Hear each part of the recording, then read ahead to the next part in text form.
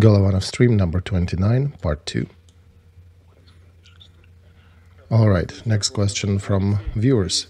Alexei, on the verge of special operation of Kremlin Maidan 3, uh, please advise how do we not fall prey to that psyop? Well, there are no perspectives for that Maidan, for that Maidan 3 psyop. So, if, if it exists, if that plan exists, it would only show how far removed from reality Kremlin is.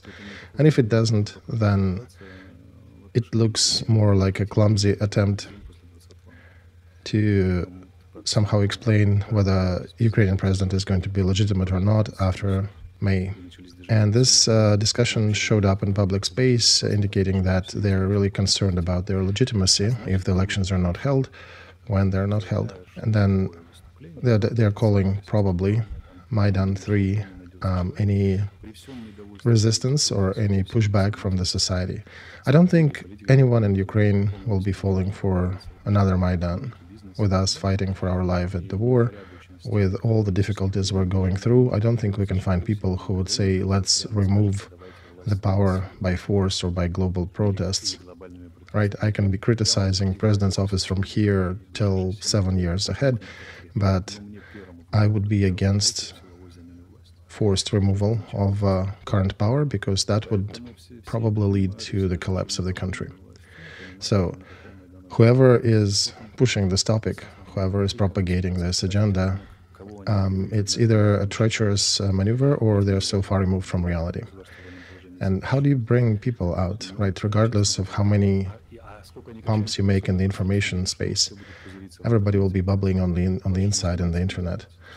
Um, that's not how you actually realize these things. I don't think you should worry about Maidan 3. When you ask a question how to not become the victim of manipulation, if you become a victim of manipulation, what you'll do? You'll take a rifle and go remove president? No, you'll just stay in uh, the internet and your account and probably will be posting things online, right? So yeah, so it wouldn't. Maidan three is not a thing.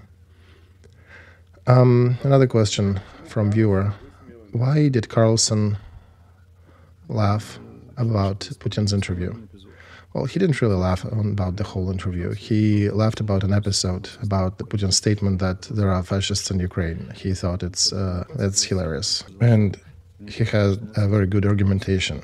He said that Nazism is the is applicable to a certain regime in the history of Germany, and that term can be used only towards a certain regime that ruled in Germany for about 16 years in the middle of the 20th century. For other situations and regimes and governments, one should look for different words because, first of all, it reveals the projection of Putin's hatred towards Ukraine. It's not true and it's a wrong use of uh, vocabulary. So that's his estimation of this uh, segment. And when Lex Fridman asked him why did not he say that to Putin's face, he answered that Putin was producing such a wave of uh, communication that it was very difficult to pause uh, that with a small dam of my questions. So he listened to everything and now he gave his review to his interview. Um, so, speaking in common parlance, uh, Putin was producing such a wave of BS that it was uh, really useless to try to stop that. And he let him vent, and then now he is giving a judgment to the interview. So, Alexei, another question do you think there is any probability for air transport to return back to Ukraine? Well, Vasily, if uh, United States is not going to send us support, then any means will be good to have: boats, planes, trains, automobiles. And frankly, we can only be talking about airports where the time to the border is about two minutes, right? Probably Uzhgorod Airport is the best candidate for this but it's not useful for receiving heavy passenger planes. It's got a smaller runway. Could have we bettered it? We could. I think during the whole war, Zakarpattia was hit only once. It has very specific terrain, big chance of missing, and Russia is also playing game with Orban in some to some degree, so attacking Zakarpattia much is not too beneficial for them. So we can ask why we're talking about restarting Borispol airport, but we're not talking about the only good variant in uh, Uzhgorod and Zakarpattia. We even talked about Lvov airport, but that was also hit by Russia. So one would need to better the runway, um, install certain defense measures. Israelis were consulting us on these matters. They, by the way, never cease uh, the work of the airports even during the hot um, segments of their war with Hamas or anybody else. So they never stop it. So we could we could have done it. We haven't. So you're concerned about Lvov that it's not doable there. Right, Lvov was already hit several times. Uzhgorod was not. So, Alexei, do you know what is used to shoot down Russian planes, Russian jets? You do not need to say, but uh, just a wink, a nod in the right direction. I do know, but I will not tell you, right? Because I can, if I nod, I basically reveal it. Okay, you're robbing the viewer from the answer. Um, yeah, sorry. Um, next question. In 2024, do you think Ukrainians will be coming back home from Europe? Well, it's an ongoing process. Um, people are saying, and some stats show that a pretty big part of our compatriots come back. The exact data is up to statistics, and uh, we can probably ask for more data from the border guards of Ukraine. And we've seen some data indicating that more coming back than leaving. But still, however you spin it, um, we still have about a third of our population still living in Europe and also in Belarus and in Russia. Should not forget about that. Russian numbers, I think the lower bracket is one and a half. 2.8 is their average statement, and uh, nobody knows in reality, but it's another big um, group. Regardless, about a third of them are outside Ukraine still. Well, part of them have nowhere to return, right? Indeed, their houses were destroyed, or their their property is somewhere in the vicinity of the front line, like Kharkov. It's still functioning and standing, right? But we all know that it's uh, like that only because they got balls of steel there, because the city is being attacked daily. And one thing is when you're staying in Kharkov, when you made a strategic decision to stay regardless, and the other proposition is to bring back a mom with young children from Europe, where for two years her kids were going to school and adapting. Just imagine that. 14, 16, maybe, right? But if the kids are six to eight, so they left when they were six and now they're eight. They left when the kid was a kindergartner, and now he spent or she two years in school with the local language and learning, and now you would make a decision to go back to the city that is being shelled daily. That that would be a difficult decision. Do you think Europeans are interested in Ukrainians staying in Europe? They, uh, Vasil, divided our citizens into two categories.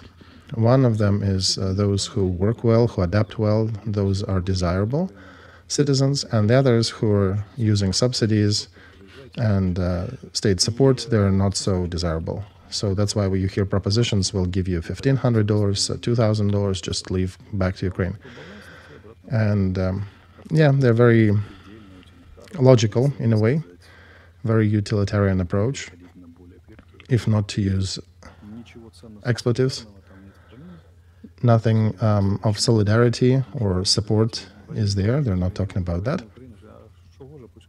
They're just saying that Ukraine take back the bad ones, uh, we'll keep the best over here.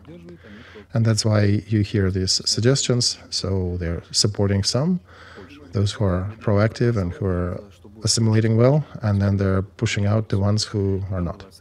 Poland recently voted, right, that um, on the bill that has a statement if you left for Ukraine at least once during a certain period, you will never be granted the citizenship in Poland. So they're cutting off those people who still maintain some loyalty to Ukraine and keep ties with Ukraine. They're trying to cut them off. So, Alexei, about non Poland. Right, so they're facing hard choices there. Other countries, Germany, France, Italy, Ireland, there are good uh, support for our migrants there, for our refugees. What do you think will happen there? Oh, support will be dwindling, and usually it'll be coming in autumn, September, October, November, when they're discussing next fiscal year, and they'll be reviewing it. By this time, it would be a third year of adaptation. Those who could have have already assimilated, learned the language, married, found jobs, uh, birthed some kids, so it'll be probably a larger question are they Ukrainian citizens? It'll be a personal choice of uh, each of those citizens, but their loyalty will probably be split between the local place and Ukraine, which is still hanging by a thread. And they, being in Europe, they very keenly aware that the destiny of Ukraine is hanging by a thread. Uh, question from viewer: Do you have an idea, Alexei, to create a larger community in the world to be able to influence uh, things uh, in relation to Ukraine? Uh, I actually do have this community. Uh, my graduates from my school, Apeiron, we are in uh, dozens of countries around the world, different people from different walks of life. There are people who barely remember Russian language and use translators during the classes, and there are others who came there recently, different caliber, from students to people who are well integrated into academia or political spheres of their countries. So we do have a rather big influence already. If you want to, you can join. We have communities in the cities, governments, continents based. I recently met American Apeiron graduates, I met uh, European graduates. Our people are everywhere. So you would understand we already uh, noted uh, 21 marriages and weddings among our students um, throughout the world. So you recently had a speech in uh, Princeton it was not exactly a lecture, lecture, right, Vasil? I was invited by a couple of American prestigious universities. I will not be giving uh, both names. But when the public lecture was announced, there were two big scandals. And there were four major groups uh, protesting my presence. One of them is uh, supporting Palestine because they know my attitude towards Israel. And uh, Palestinian conflict. I'm trying to be objective, but I, there is something to criticize both each side for. But I'm generally supportive of Israel. Second group was feminists who remember that uh, fabricated scandal about strangling supposedly women, and then there was, of course, some representatives of pro-Putin's Russian diaspora, and they were also Ukrainians, very, uh, in quotes, patriotic Ukrainians who were threatening universities um, losing cooperation with them, etc. Princeton was not scared by that. They said we're a big research center, so we don't care. We allow different speakers here. I told them uh, to give it a thought. They took some time, changed their tone, but said we're still not afraid. And then I suggested, in order to not bring you onto the target, into the crosshairs, I'll meet a very uh, narrow professional community. And we had uh, specialists who are specializing in political studies and Russian studies on this uh, meeting. There were students, teachers, professors, and uh, military who are also studying in Princeton now.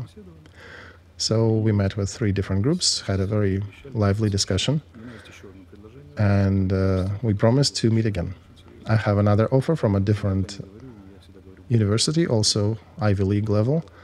I'm just not saying, I'm usually not announcing until things happen. If it happens, I will disclose. And this institute already is aware of the protests and stuff. They're saying that they're not afraid of them. They have a different history. But uh, of course, uh, the biggest protesting group is Ukrainians. For some of them, it is so important for Ukraine to not be presented on the international arena. But if they are presented, then only by whom they like and not such scoundrels as Arestovich. But I want to say that there are several surprises for them in store. Regardless of their struggles, they'll have to see me on a few very prestigious platforms soon.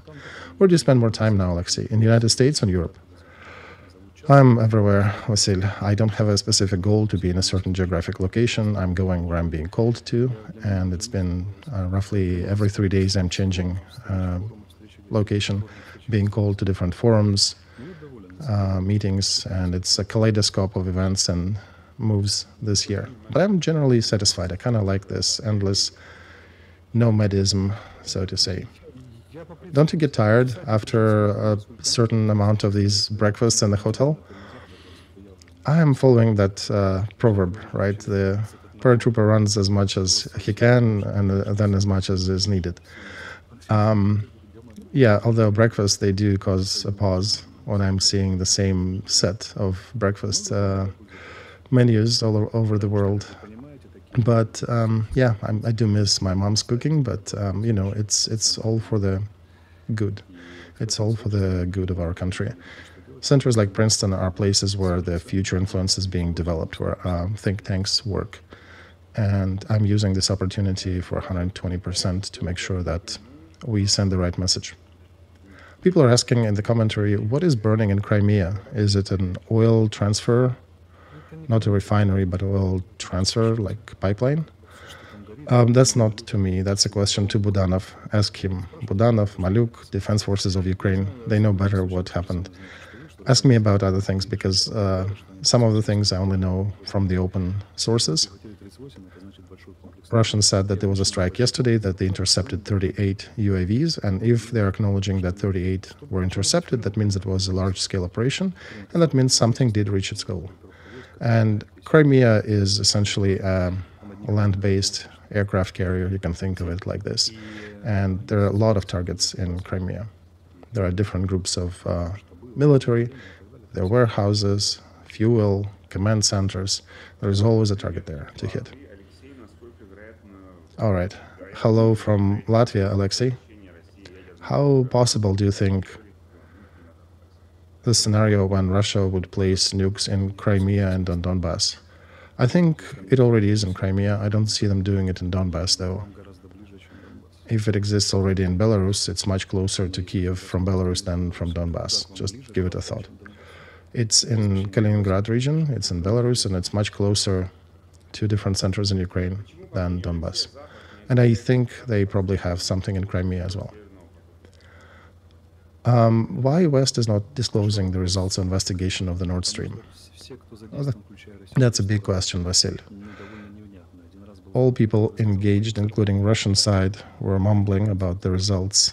Putin once mentioned to Tucker in his interview, "You Americans blew it up," without presenting any proof or any data by his uh, courts or anything or investigators. But the fact that other countries refuse the investigation um, under, or they gave investigation to police, but police is very limited to investigate what happened at the depth of 150 yards over a year ago when the interests of power players are involved. So, and without real, real uh, ironclad data, it's very difficult to prove anything. Otherwise, it goes very quickly into the land of conspirology, and I don't want to discuss that because it's at this point is really conspirologic. If uh, the viewer asked me about my estimation on a certain theory, then I could comment. But in, in general, no. Alexei, what do you think will happen with Kharkov?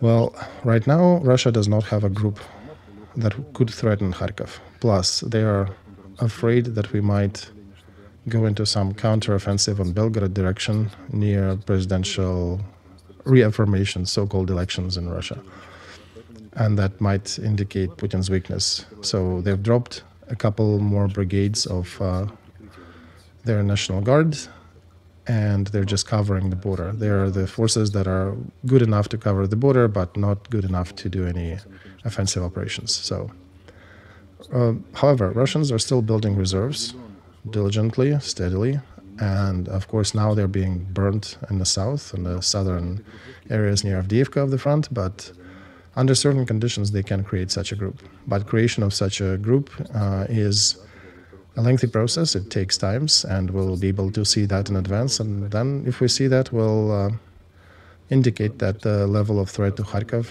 by the ground had increased. When that happens, we'll warn our viewers, but for now, there is no risk. Since about 23rd, 24th of February, different monitoring groups were saying that Russians are ready for a massive missile strike, similar to what they carried out during the new year. Today is already the beginning of March, but uh, there was still no major aerial strike. Do you think it's due to us hitting their A50 com- communication uh, uh, plane, coordination plane, command plane for the aerial attacks? Um, there are different reasons for that, Vasil. Probably, yes, it did have some effect that we destroyed the A50 twice already. And um, also, they also running out of uh, winter time, so they cannot freeze anybody, right, with that hit. Um, moreover, this winter they concentrated mostly on our industrial capacity, on our military industrial capacity. They were hitting the warehouses and production facilities, and they had partial success, by the way. Um, so they usually use Intel services to target, to, to figure out which targets they're hitting, and we also took some measures to hide our targets. And my theory is that they are still aggregating the targets they want to hit, but they don't have a bank large enough to hit. Once they confirm the areas they want to hit, that's when it likely will happen. Also, it's possible that right now there may be some period of threats towards Europe, and they need to have a certain missile potential to be able to threaten Europe as well, to add weight to their threats. Because if they wasted everything in Kiev, um, there is nothing to threaten Europe with, right? They need to threaten Swedes, uh, French, Germans by potential cruise missile strike, right? And it's difficult to threaten when you just expanded everything in Ukraine, then you have nothing to threat uh, those countries with. So, to threaten.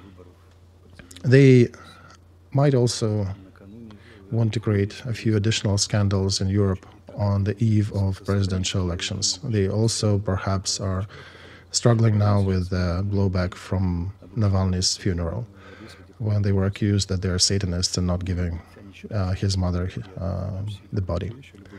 So there's also now the backdrop of Odessa, where they hit uh, civilians at large, and uh, it's a bad element of their campaign. But um, they may be taking a pause. But I think the main reasons are two. First, the bank of targets. I don't think it's fully assembled yet for this round. With all our deficiencies after our warehouses and military objects were hit, I think even we took certain measures and uh, it's not so clear now where to hit, or if to hit there, it's not worth it because everything is dispersed. And um, second, probably they're getting ready to blackmail Europe better, so they want to stockpile a better potential for that. Okay, another question from viewer. In case if Russian troops will enter Transnistria and will be attacking Ukraine from there, what will be the response? Um, how do you think they'll get there? I have a question. If we're talking Transnistria, how do how do you get there? You need to walk through sovereign state of Moldova or sovereign state of Ukraine. We will not let them in Ukraine, and um, Moldova. Well, they're sovereign state which is very friendly with Romania. And by the way, Romanians they do think that Moldova is essentially same people like them and they will not be doing nothing and twiddling their fingers if uh, Russians will be threatening Moldova in some capacity. Ukraine doesn't have another ally supporting us at the moment who would think that we're pretty much the same people. We have a couple countries that think that, but they're on the other side, uh, Belarus and Russia. They're attacking us. Right, or they're allowing Russia to attack us as Belarus under Lukashenko. But um, Romania does think Moldova to be part of its own, so they would not allow, I think, Russia to bring anything there. And they have some troops, they have 18,000 troops there. Um, those uh, thousand and a half of Russian troops in uh, Transnistria, those are basically local citizens with Russian passports who live there, who just serve in local military, but their battle readiness is very limited.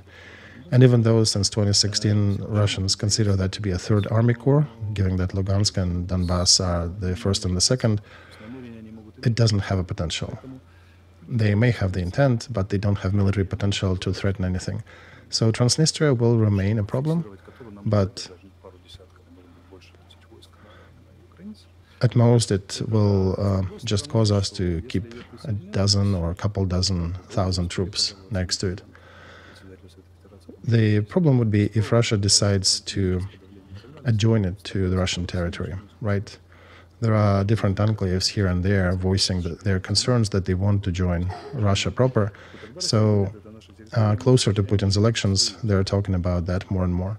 Then Russia starts to say that, okay, this is our territory and we'll be defending it as our enclave middle, in the middle of enemies. And then it becomes the zone of potential conflict with Moldova and become um, special point of uh, possible inflammation on the border of Ukraine. But um, we understand that we cannot take full measures there. And um, in the meantime, Transnistria people and armed forces, pro Russian forces, understand that if they become too hot of a problem, then Ukraine will probably find enough uh, battalions and enough diesel to go there and take care of it. So I suspect they're mostly threatening in the political sphere, not in the actual military sphere. But again, if those uh, troops of Transnistria will go towards Moldova, then that may be a threat. But uh, there is Romania there, and I think we will be able to provide some aid as well, if that happens. The def deficiency of democracies is they, they consult for too long, but I hope that uh, Moldova will be able to protect itself from Transnistria should they decide to inflame something and turn into a hot conflict. Um, I okay suggest once again to our viewers to click that like button, to not forget to subscribe to Alexei's channel, to my channel, and of course to the privateer station if you're listening or watching that in English. Alexei, in your view, why Navalny's funeral was uh, such a long story, such a big ordeal? His body was not given to his mom, and um, was released on the final hour of uh, the legal window for as long as they could hold it. So now media are saying that there were over 10,000 people coming to the funeral. And uh, why do you think it didn't become um, igniter for the revolt in Moscow? What igniter can we talk about in Moscow? Even Prigozhin's push failed to ignite anything. He had a real force that actually was marching to Moscow. They shot seven jets down. They destroyed several barricades by National Guard. According to some data, several brigades turned to him to his side, and several others declared neutrality. So during war times, that's uh, essentially a treason. He had a huge potential, and people still didn't uprise. And if you're talking about peaceful protest, expressing solidarity that uh, are nice to our ear, it doesn't have a potential against a huge police machine that Putin is uh, regularly exercising against them. And he still has a large enough group supporting him in Russia, unfortunately, and they don't like Navalny and his supporters. So those people who came to the funeral, they did a very brave thing. They actually knew that they will be noted, that their names will be somewhere in the FSB records, but they still had enough bravery to come out and support Navalny publicly. Right? But they still found the church that uh, led this last uh, funeral uh, proceedings and they found the funeral services that uh, afforded for transportation and all. So there are some forces of power in Kremlin. One of them is pure Satanist style. The other is uh, somewhat reasonable, and I think the more reasonable prevailed, saying that okay, let them bury him. In the meantime, we'll take their faces and take notes. But they don't have enough fuel to fight against um, Putin's regime we can just say that uh, the more realistic part in Putin's government prevailed over the purely Satanist part. But what can a citizen do in Russia? Nothing really at this point, especially with peaceful protests. They can leave, right? Yeah, exactly. They can leave and protest. That's the maximum of protest they can allow. Even if a citizen finds a rifle somewhere and shoots a couple policemen um, or Putin's uh, soldiers, he'll be a, a loner and he'll die quickly. So it's a very difficult choice, not for everybody, and not for the mass movement in Russia. Russia does not have a potential for mass protest yet, unfortunately. Why are you saying yet? What can change it? Well, because life shows different things. Right. Life keeps moving things. Each society has a potential for civil war. For one reason, because uh, there are a lot more reasons disconnecting people than connecting, joining people. But what it will be in real life, we don't know. We'll see. For now, a real serious number of Russians are supporting Putin's politics, and they don't like the part of Russians who do not support him.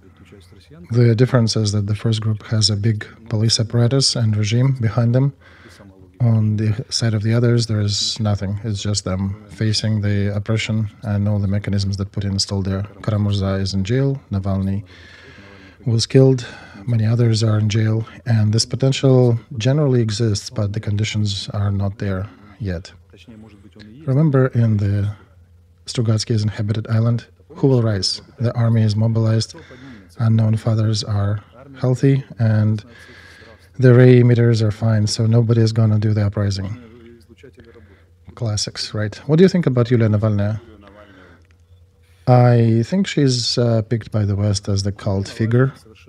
The size of symbolic investments in her is beyond any limits, and she's being received on the highest level in Euro- in Europe, in Parliament, in Washington. Right, even Biden received her. Right, the president of the United States. I meant um, I meant the whole complex of meetings that she held there. So, understandably, she is a symbolic figure for the West. On the one hand, it tells a lot about the West because they do like to work with symbols rather than with practice. Because the moment you start asking them about practical aspect of support, you know, you may find out that she may get a dozen million dollars to distribute among the opposition and perhaps do the information campaign against Putin's regime. But that's about it. That's only if somebody will dive deeper into how that works. Um, I, am just supposing I do not have the data. And there is an attempt to try to pump her up as the real figure who might lead the opposition, which is now very broken apart. It's still a big question. Remains to be seen if she will be able to take this position, this uh, spot.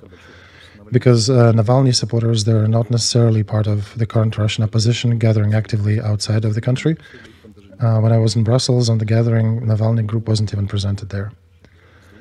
So, as in any politics, once you're a big enough figure, you can start influencing things, and then perhaps you can materialize more support eventually. And I did ask her a question. Uh, it's an open question to her out in the stream and the media. Does she understand that since she picked up the banner, decided to pick up the banner of Alexei Navalny, that her success and the success of Russian opposition at large depends a lot on the success of Ukrainian defense forces, because their chances to win will be zero if uh, we fail. Uh, they will be much stronger, almost 100% if we win, and uh, will be questionable if it'll be a stalemate on the front. So, aid to Ukraine, the problem of continuous military support to Ukraine, is a key to support Russian opposition too. So right now she has a huge political capital, and some people, some commentators already coming out here in Ukraine speaking that Yulia Navalny for the West costs more than uh, several children killed in Odessa by Russian UAVs, and Western media is full of Yulia Navalny. I don't support um, these statements about the death of children and comparing that to her political capital, but it exists, unfortunately.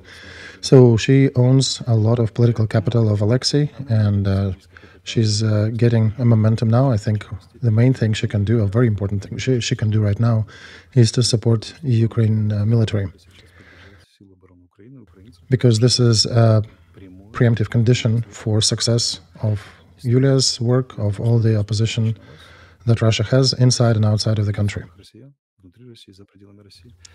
And this is a direct, important factor to that success. That's why I, again, in a public uh, square, openly appealing to Yulia to bring up the matter of continuous military support to Ukraine. I think this is one of the best things you can do at the moment. By the way, this is what Nemtsov's daughter was talking about.